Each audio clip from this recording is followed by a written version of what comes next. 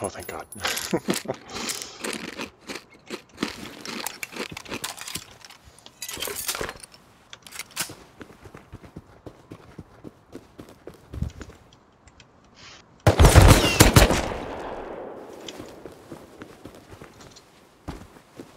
I don't know what gun that guy hurt, has, but it hurts.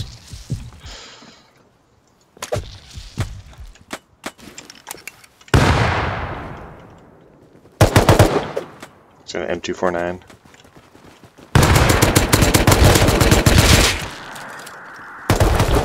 Ah, no. Okay. Thank God.